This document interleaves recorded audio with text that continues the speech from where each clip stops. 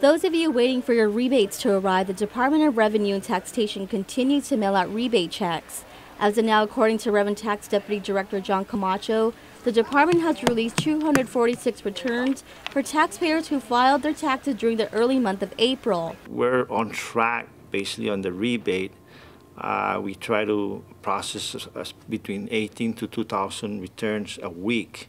And if you're wondering about those earned income tax credit checks, Camacho adds the department is working with legal issues with the EITC claims for the remainder of 1999. There's some issues on on the uh, basically the the legal fees and the portion also for the for the taxpayers, for the the claimants, for the uh, EAC members. Crystal Augustine, Pacific News Center.